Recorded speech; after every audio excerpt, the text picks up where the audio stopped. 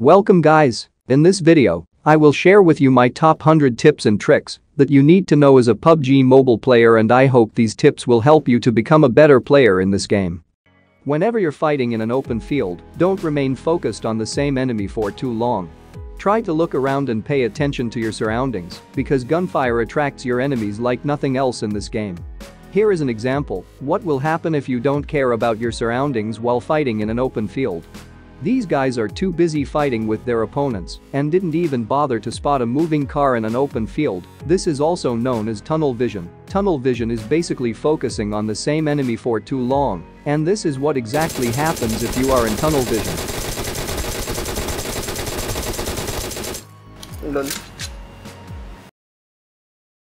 Change your position when you think you have been spotted or when you fired at someone. When you kill an enemy or fire at someone, you will make a gunfire sound which will reveal your intel or location. And the gun sound will attract the players who are near you, especially the ones who are behind you. And this will be the result of staying in the same location.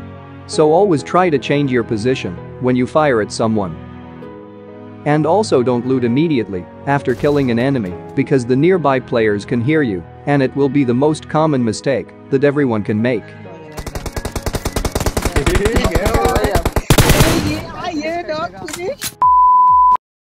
Always leave one bullet in your magazine in order to reload faster. For example, we have here M416, if we reload from 0 bullets it would take us 1.5 seconds. But if you have one or more bullets in your magazine, it would take 1.3 seconds to reload. So this would save 0.2 seconds which may save you in some situations, but if we take a look at weapons like DP29 or M249, the difference would be bigger. To fully reload DP28 would take 5.4 seconds, and when you leave one or more bullets in the magazine, it would take 4.4 seconds, so it will save you about 1 second in reloading time. And this trick will definitely help you in some situations if you can remember. If you jump down from a high place you make a sound. But if you punch while jumping down you won't make any sound. Few examples. The enemy is punching while jumping. No sound. Jump without a punch. You can hear the sound. When you're traveling to zone in a vehicle and when you want to heal, you have to stop your vehicle and heal. This takes around 3 to 5 seconds, and sometimes more if you press the reverse button to stop the vehicle. The best thing you can do is change your seat and start using first aid kit or any heals. This is the fastest way to stop the vehicle, and this will save few seconds. Be unpredictable. Use tactics that people never seen before. Don't use the same strategy as everyone else. It may work sometimes, but it won't work always. So come up with your own strategy, and your enemies will be dead before they even understand what happened. Huh? I will give you 3 tips on how to rush into a building. When rushing into any building, throw as many grenades as possible. When doing these you're forcing your enemies to either move or die, both gives you an advantage. If you're lucky and got a knock, then push without any hesitation. As the other player would be reviving, you will get an advantage over it. If you directly rush into a house without any information you will instantly die because campers are everywhere. Instead see if you could find your enemies through windows and make the kill without entering into building at all.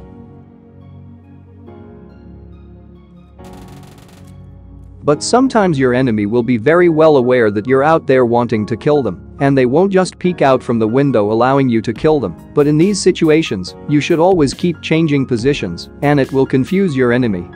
If you think your enemy is camping on the first floor, try to get the high ground and see if you could find your enemies from nearby buildings.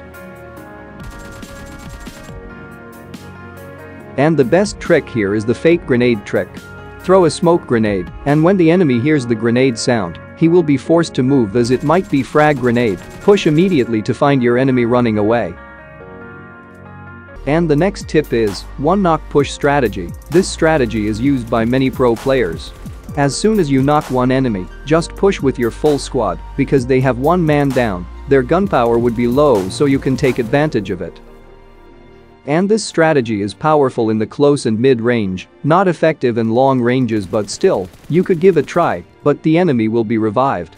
Suppose you're in the middle of a gunfight and your health is so low, so you have to use health kits to heal up, but you're covered by multiple enemies. So in this type of situations, you have to throw the Molotov in the entrance area, where your enemies will most likely to come from. Anyway, the Molotovs will burn for about 9 seconds, that's enough time for you to use the first aids. But even if the players came through the Molotov, they will lose about 80 to 90% of their health, so you can kill them easily, or some enemies will get knocked immediately. If you want to shoot a moving vehicle from a house, just jump on the window and crouch, or prone depending on the distance and situation and start shooting. In this way, you will get a much better view and angle, so it makes easier for you to kill them. Always focus on the driver, taking down the driver is always the priority. Because once the driver is taken out the car will hit the brake and stop. The other guys would have to react quickly to take the driver's seat or to do anything. If you have a full team then it's easy to spray down the vehicle, but the driver is always the priority. Of course, you can blow up the vehicle if you have full team it's a lot easier. Don't stand still, no matter which place you are in, you can still get shots from any direction, so always keep moving, especially when someone is trying to snipe you, it will be very hard for them to hit you. Tip number 6, bait your enemies with loot. This trick works best when two different enemies are fighting and one wins the fight and goes to loot them. It is your time to kill the enemy while he is looting peacefully.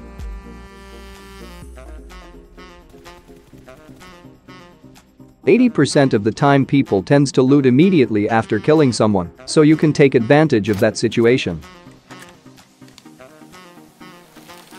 Here is a cool mind trick. Suppose your enemy is hiding behind this tree, or any obstacle, or any type of cover.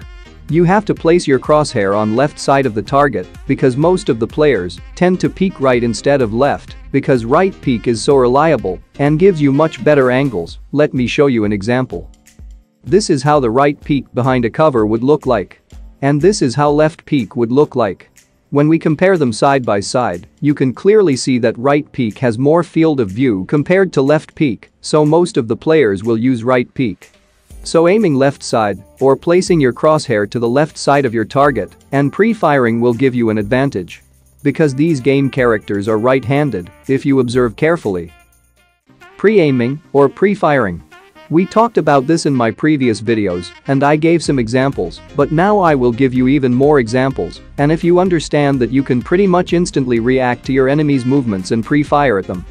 Here are a few pre-firing tricks in bootcamp that might help you, and I hope it will give you an idea on how you can pre-fire with these examples. If you see your opponent running in this way, you can simply pre-fire at the next window like this. And similarly when your opponent is running in this way. Just aim for the next available window like this and pre-fire or manual fire. If you see that your opponent is running towards this way, then aim for any of these three windows I would recommend second and third windows and start pre-firing to surprise them. And even when your opponent is running into the house to escape from you, you can still shoot them through the following windows. Example like this. I hope you understand this method, if you did understand then you can do some crazy pre-fire that your opponent will never expect and it will surprise them.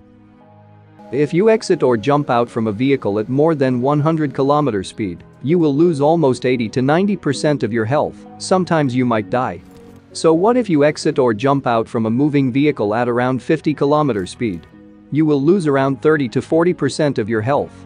The best way to exit from a vehicle without losing any health is below 30 km speed.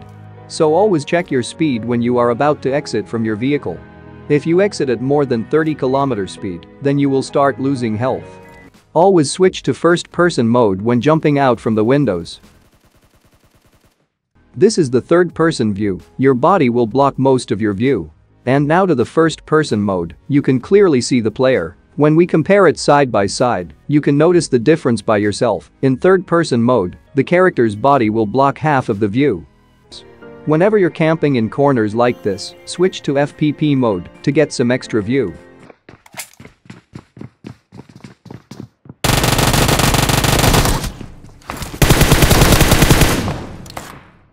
Now you can actually mark lines in the map. If you're really bad at memorizing the plane path, this tip is gonna help you a lot. So at the beginning of the game in Spawn Island, open your map and click on the mark thing. Now create a line on the plane path by tapping on each end. Later when plane path disappeared, this will be very useful to determine where the players will most likely be, so you can either avoid those places or go find players. This one is a glitch, but you can use it as a trick. You can run while shooting by using this glitch. Your gun will not aim at the enemy, but the bullets will still hit them. How to use it? But in iPhone or iPad, this trick will randomly activate while switching between guns. I still have no idea how this works in iPhone, but I use iPhone, and it randomly works. In Android, you need to hold the fire button and open recent apps, and quickly open the game, and now you can run while shooting.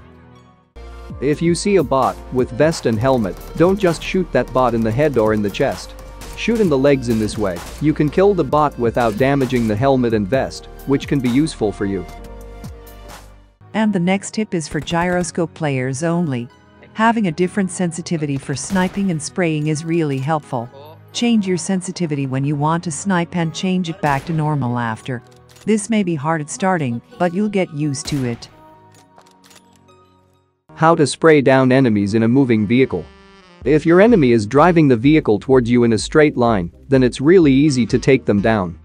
But the problem begins when your enemy is driving the vehicle around you in a circular path or in a horizontal path. Even if you shoot the vehicle perfectly your bullets may not hit the player. So this tip will help you to hit a moving target in a vehicle.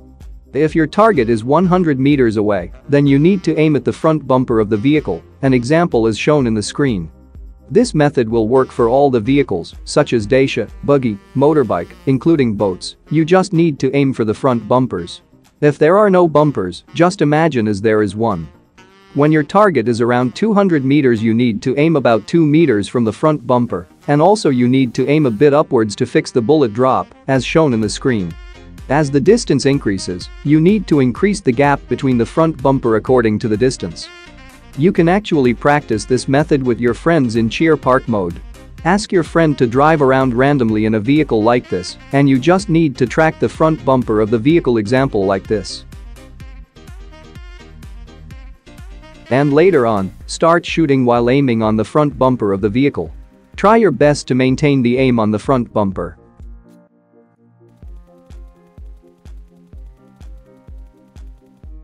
Here is the handcam part on how I track the vehicles. I use full gyroscope, so I totally depend on gyroscope for vehicle spraying. And this is how my hand moments will look like, sometimes I might rotate my body in order to spray down the vehicle. If you're a non-gyroscope player, then it will be very difficult to track the moving vehicle.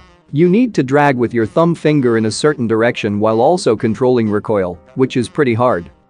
Zigzag running. By running left and right while someone is shooting at you, zigzag running will help you by making harder for them to hit you, they will be confused about which side to shoot.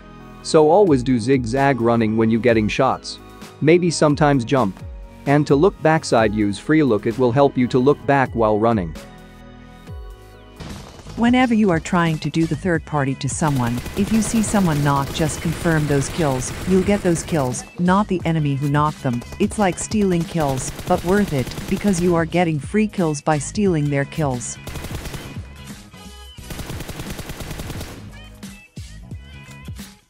If your microphone making too much noise, then try using push to talk. To use push to talk, you need to hold on the push to talk button, and it will show you some arrows while it's working. Do you know that painkillers weigh the same amount as the first aid kit in your backpack? Do you think the first aid kit will be much heavier? But the painkiller is quite heavy in your bag. Painkiller is worst boost item in my opinion, because it takes up a lot of space in your bag and extremely long to use, and also not very efficient. I recommend carrying energy drinks because you can take two energy drinks and it doesn't take as much space in your bag as a painkiller and gives you a little bit more boost than a single painkiller. To see your sniper shots after shooting, you need to hold scope and fire button both at the same time. And release them to release scope. By using this trick you can see where your bullet is hitting on your enemy. Learn to use lean function. Leaning right next to a wall will help you to hide your head. Sometimes your opponents can see your head while you're crouching next to a wall. So here is a comparison between normal crouch and crouch plus lean.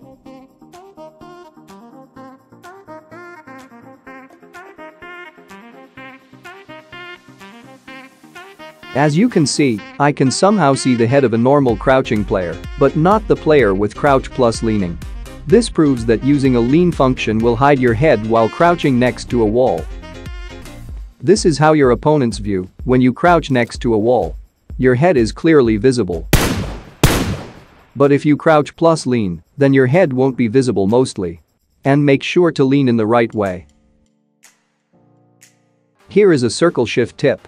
It's important to play in the circle in PUBG Mobile, it is the winning formula, a lot of time it's not about killing someone, it's about getting the best place in the next circle and out-positioning your opponent, giving yourself a tactical advantage. Depending on the terrain where the circle will be formed, the best place I think to be is at the thinnest part of the line in between blue and white circle, as shown here. By using this strategy, you give yourself a better position to hold, the blue zone being at your back will make it less likely you will get attacked from behind. This will give you more time to focus on the terrain in front of you. It's important to take notes of your geographical surroundings like mountains and house compounds. Also keep an eye on supply drops. These will give you a better idea where players will be. Players tends to move to middle of the circle thinking they would be in the next circle, but in reality, if you stay in middle you will most likely to get shots from all the directions. So I would not recommend moving to the center of the circle, try to stay on edges with blue zone to be more safe. If you have only two players in the vehicle it's good call to be on the same side of the vehicle.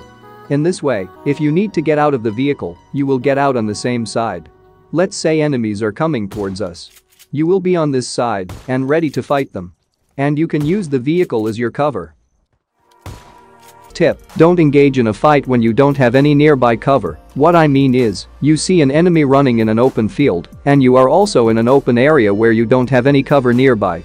But you started shooting at the enemy anyway, later you messed up the spray, now you are in a big trouble because your opponent is going to shoot back at you, and you don't have any cover to hide.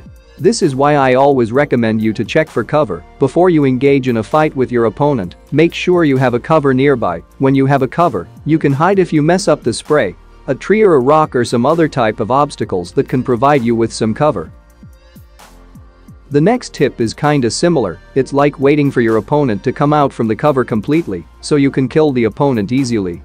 Let's just say you see an enemy running. The first thing you have to do is check if the enemy has nearby covers. If the enemy does have any nearby cover, it's not worth shooting unless you have really good spraying skills. If you do shoot at the opponent anyway, then the enemy will hide behind the cover immediately. Now the enemy knows your location. So this is why I always wait for the opponent to come out from their covers completely or halfway through at least. This gives you some extra time to take down the opponent. Once again, remember to check for your enemy's nearby cover. When you see them running like this, wait until the enemy is halfway between covers and start shooting. It will be easier for you since they don't have any cover to hide. Now the last one, this tip is especially for those people who don't use jump and climb separate, you can still do jump shot near a wall example like this. If you face towards the wall and hit the jump button you will climb up the wall, so what you have to do here is, you need to face towards sideways or in a 90 degree direction to the wall. Now you will able to make that jump shot without climbing up the wall, in both directions. If you face towards the wall in any way while jumping, you will definitely climb up the wall. Before you going to do the jump shot make sure that you're facing in any other direction than the wall, here is a slow motion.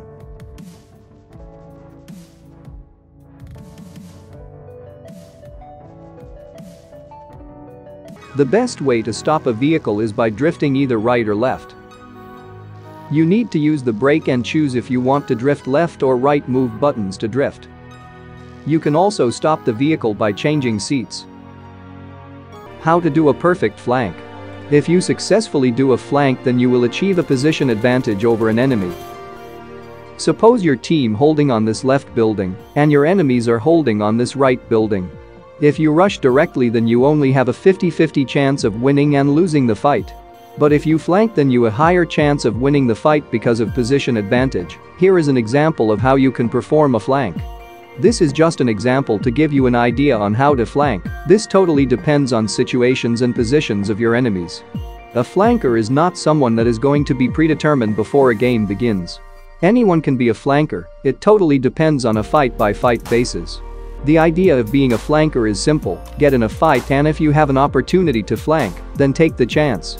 As your team gets used to this more and more working together, then you will able to quickly realize when you are the player in the flanker position, don't hesitate to push fast and kill your opponents. If you're playing with squads, then learn how to sandwich your opponents, this will increase your chances of winning the fights. For example, this is your opponents at this location, and your team fighting with them in this marked location.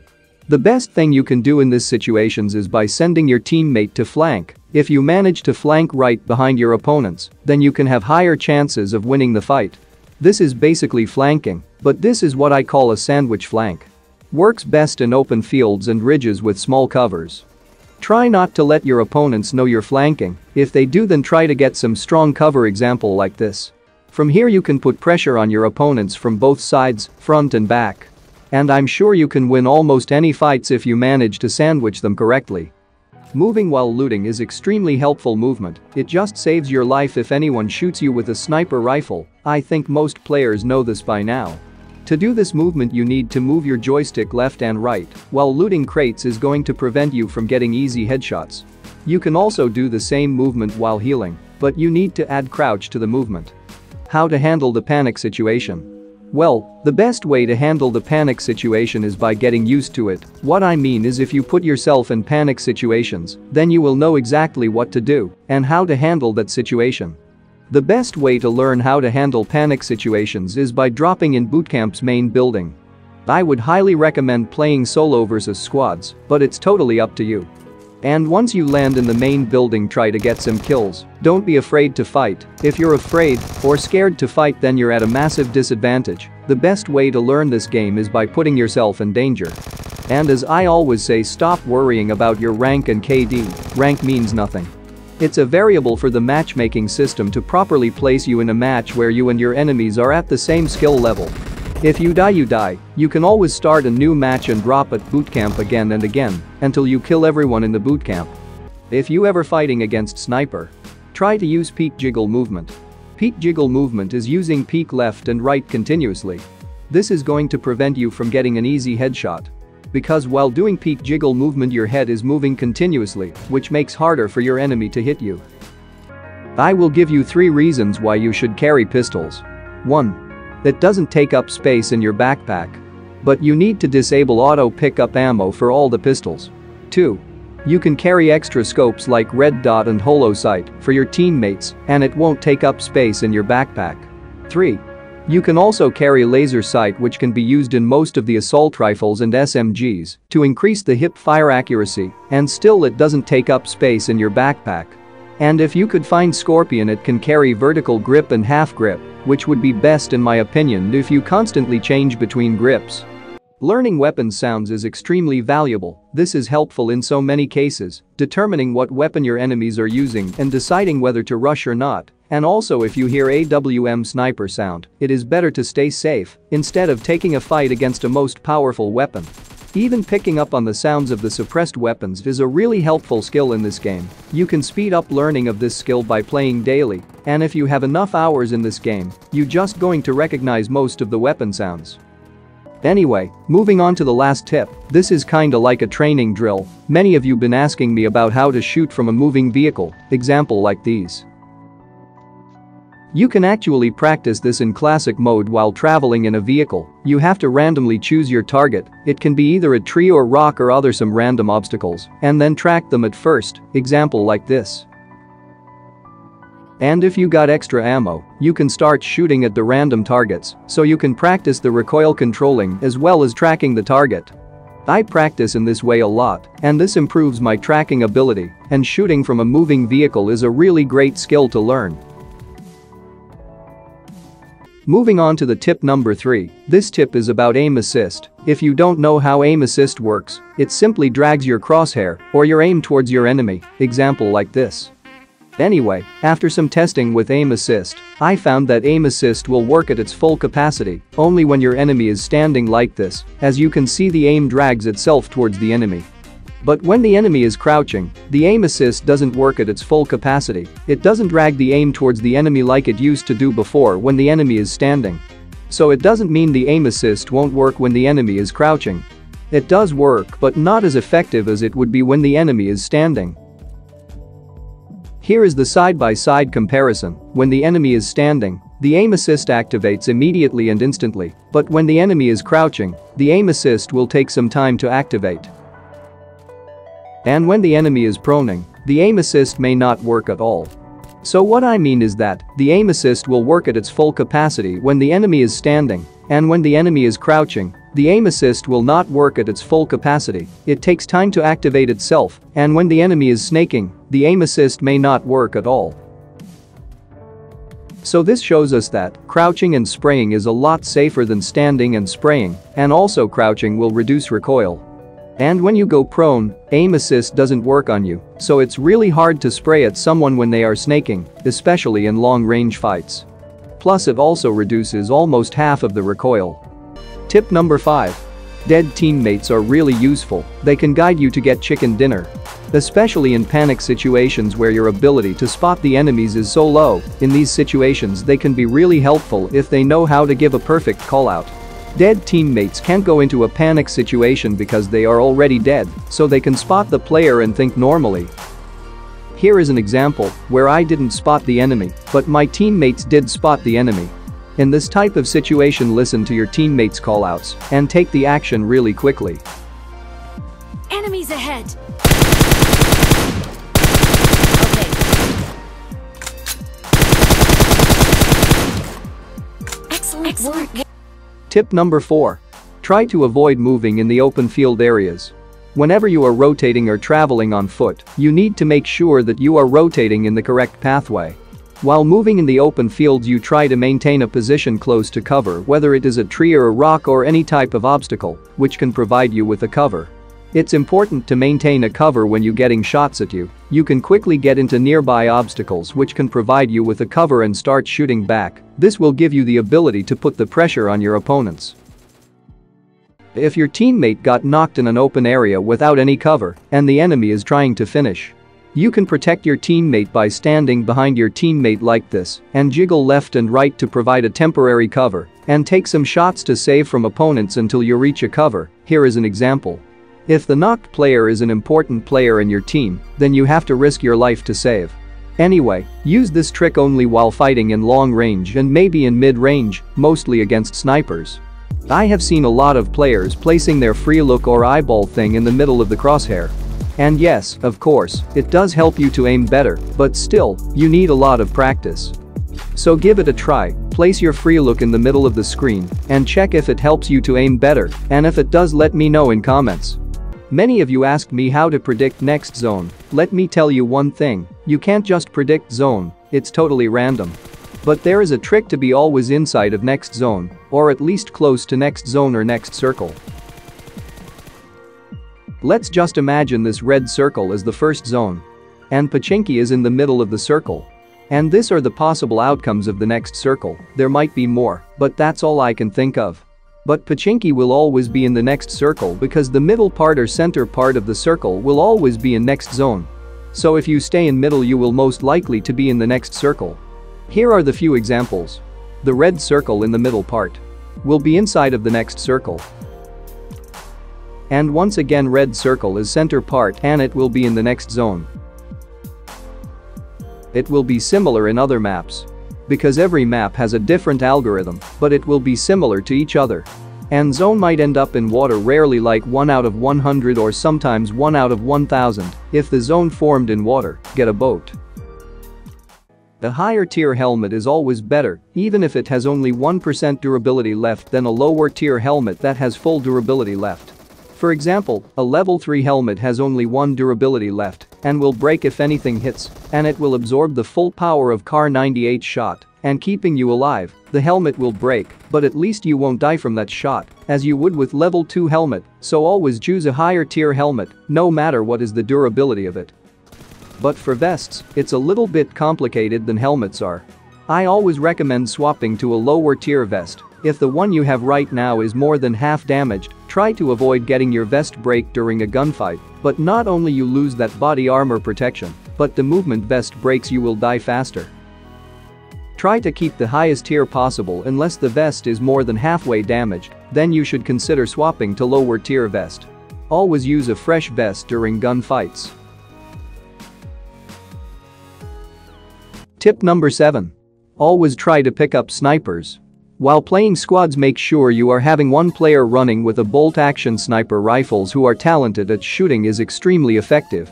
If you are a sniper for your team or if any of your teammates are skilled at sniping, make sure you give them the proper gear. Firstly make sure your snipers are equipped with the highest range scope that your team has to offer, and in case if your team has level 3 helmet, be sure to give the helmet to your sniper as he will be needing it the most. If you play FPP mode you may notice that few weapons hip fire will block your view, example like this. To fix this you need to either use flash hider or a suppressor.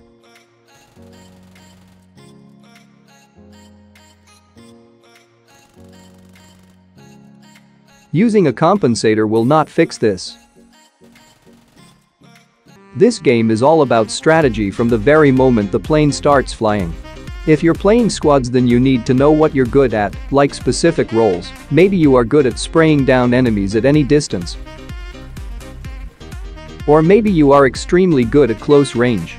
Or maybe you are really good at sniping. Maybe you are a good driver.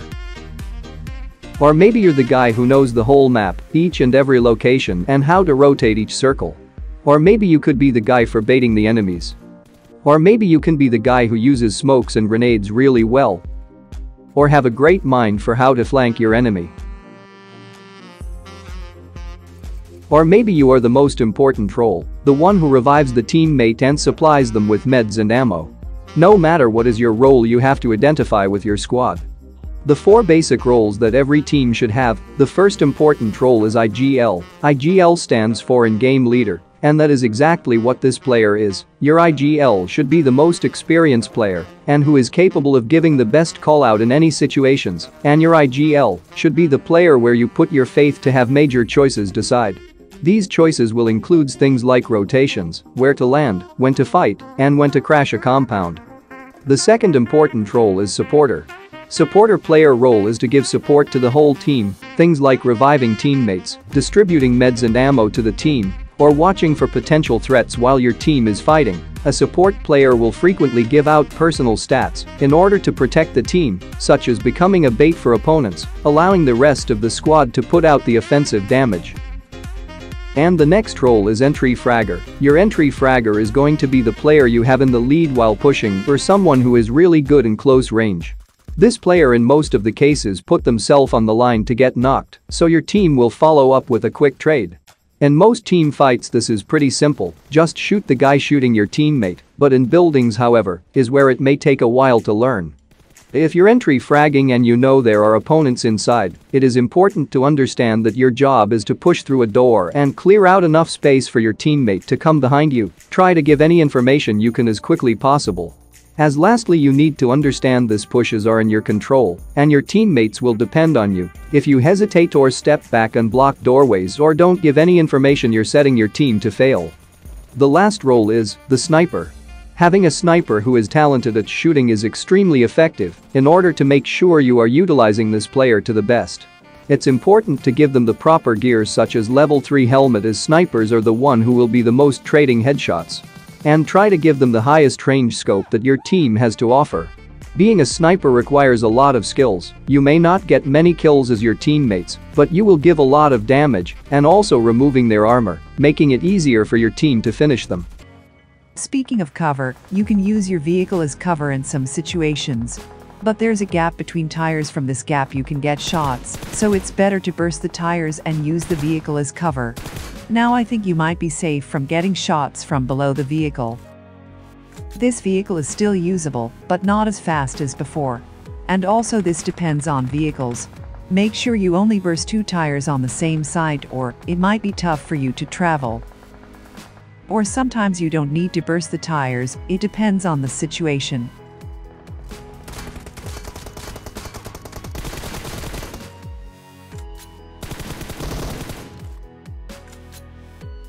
Yourself a favor by having the same weapons in the same slot every time.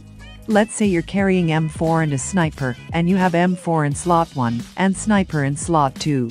In that way, whenever you want to snipe someone, you will know sniper is in slot 2, and also it gives you muscle memory to understand easier. Try to take advantage of TPP, for example here I used my peek to get some extra view to spot this player on the top of the house, while not exposing my body.